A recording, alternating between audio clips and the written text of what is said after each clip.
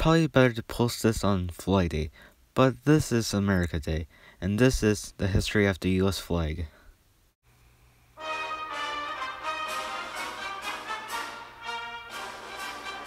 When the American Revolution started, you can see this flag. Its name is the Continental Colors flag, or is it also called the Grand Union flag.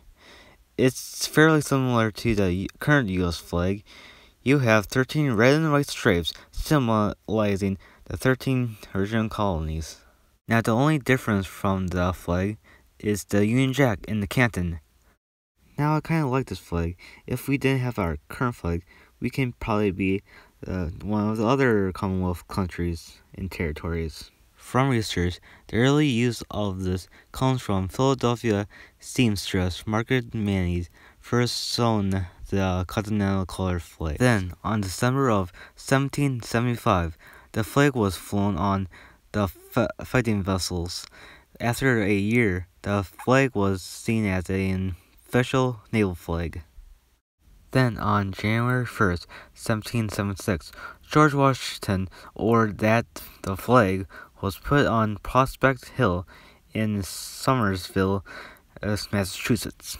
The designer of the flag is unknown, but it's theorized that Benjamin Franklin, Thomas Lynch, and Benjamin Harrison should be responsible. The next flag we're going to look at is the Betsy Ross flag. This would be the first official flag of the United States, adopted by the Continental Congress on June 14, 1777. We'll get to this date later. This flag has 13 continuous red and white stripes. In the canton, there is a blue field with 13 five-pointed stars making a circle. I'm sure we all know what the 13 stars and stripes mean. Now, yes, this flag is called the Betsy Ross flag, but there is no evidence that Betsy Ross designed or sewn this flag. After this flag, you can see this flag. This is when two states entered the, the U.S. Vermont, check out the, my last video, in 1791, and Kentucky in 1792. Around this time, the flag started seeing some problems. As Vermont and Kentucky were admitted to the United States, the flag would add some stars and stripes. It doesn't seem wrong to do this, right? Well, as Tennessee, Ohio, Louisiana, Indiana, and Mississippi were admitted, that would mean five more stripes. And if we keep adding stripes, that'd be a little much.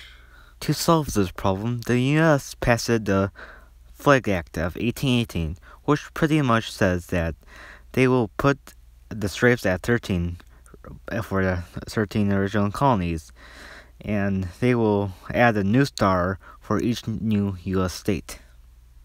This will uh, continue for several years. By 1861, the flag will reach 34 stars.